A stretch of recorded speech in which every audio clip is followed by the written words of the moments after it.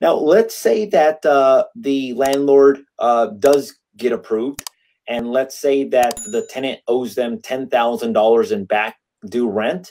Do they pay the entire ten thousand dollars, or is there a certain percentage that they? Uh, Good question. Um, the uh, the state would pay eighty percent of uh-huh. the rent that is owed. Okay. So they would pay eighty percent.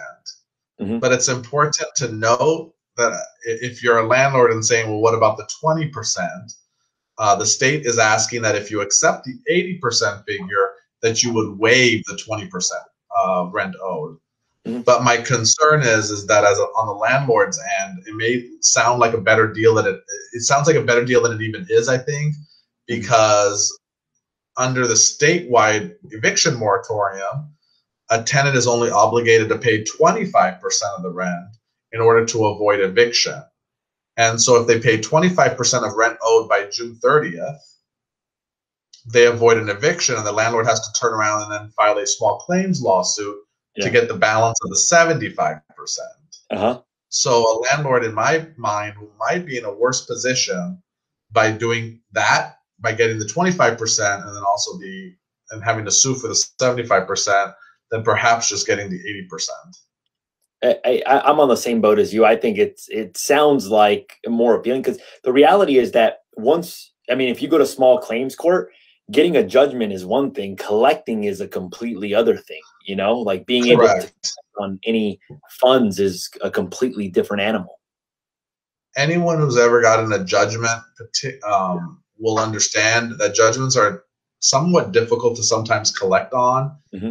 Um, I'm not saying it's impossible, and some it, dep- it depends on every tenant situation, but generally uh, collections can only go against a tenant's wages, um, bank accounts, and if they own any real property. And so those are your, kind of your three big avenues of collections. So if you're um, if you have a tenant that does not have any money, um, generally it's going to be somewhat difficult to get collections from them. Okay. Do you know how long, do you know how long it's it's going to take for landlords to get their money? Like, let's say that I apply today. It's just like a thirty day process, a sixty day. Since it's since it's such a new program, I actually don't know. Mm-hmm. Um, you know, and I don't know from just practical experience because it's such a new program how long it will take for the money to actually start flowing once you do the application process and how long the application process actually takes again, because such a new program, um, some of my clients have slowly started to get the um, put the applications together, mm-hmm. but I think a lot of them just just because it's only been two weeks, a lot of them are still kind of waiting on it. Yeah. Now, what what happens like after the fact? So let's say let's just fast forward. Uh, it's May. I receive the eighty percent. I've forgiven the remaining twenty percent. So we're at square one. Um, is the tenant required to start making payments at that point? And so state law, uh, state law would say that the tenant is required to start making full payments of rent on July 1st. Mm. So if you apply now, I don't, um, I believe that you may be able to even apply for April. Well, now it is April, but for May and June's rent. Mm-hmm. But then after July 1st, a, a, a tenant is responsible to pay the entire amount of rent.